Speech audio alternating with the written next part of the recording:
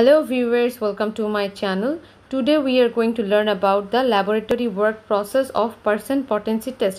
এর জন্য প্রথমে আমরা জানব potency definition. Potency.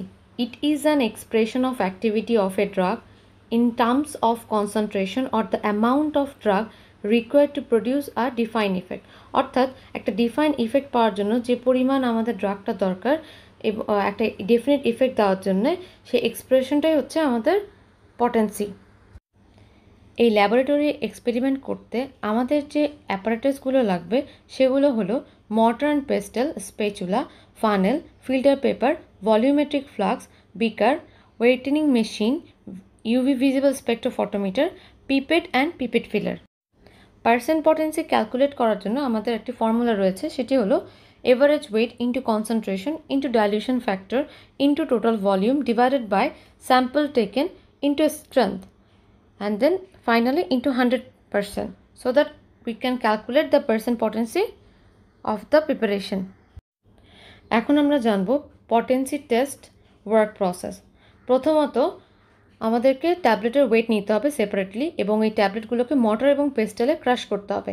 সেই ক্রাশ করা ট্যাবলেট থেকে টেন মিলিগ্রাম আমাদেরকে নিতে হবে, যেটাকে আমরা হান্ড্রেড এম মিডিয়াতে ডিজলভ করব।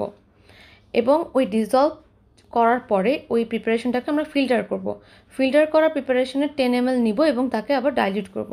ডাইলিউট করার পরে আমরা এটা অ্যাবজর্বেন্স বের করার পরে এই অ্যাবজর্বেন্স যে মানটা, সেই মানটা আমরা স্ট্যান্ডার্ড ক্রাফট থেকে পাওয়া যে ইকুয়েশন সেখানে বসালে আমরা কনসেন্ট্রেশনটা পেতে পারি এবং কনসেন্ট্রেশনটা পাওয়ার পরে আমরা পরবর্তী স্টেপে যাব। পরবর্তী স্টেপটি বোঝার জন্য একটি এক্সাম্পল দেখা খুবই জরুরি। এই এক্সাম্পল দেখলে আমরা পুরো প্রসেসটা ক্লিয়ারলি বুঝতে পারব।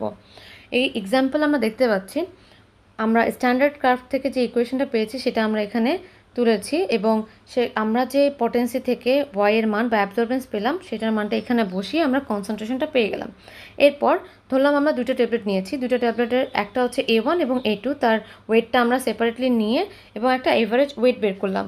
এবং সেখান থেকে আমাদের অ্যামাউন্ট অফ ট্যাব প্রিপারেশন বা ক্রাশ ট্যাবলেট নিয়েছি, সেটা হচ্ছে টেন মিলিগ্রাম এবং ধরলাম আমাদের ট্যাবলেটের স্ট্রেংথটা হচ্ছে দুইশো পঞ্চাশ মিলিগ্রাম তো আমাদের স্যাম্পল যে টেকেন আমরা সূত্রে দেখেছিলাম বা ফর্মুলাতে দেখেছিলাম যে সেখানে sample taken divided by sample taken and strength so sample টেকেনটা বের করার জন্য আমাদেরকে average weight into amount taken divided by strength করলে আমরা পেতে পারি। ওকে এরপর আমরা দেখব যে পার্সেন্ট পটেন্সি কীভাবে বের করতে হয়।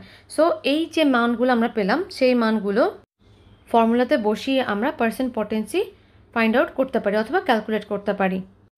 That's all about for today. If you like this video, please share and subscribe to my channel. Thank you.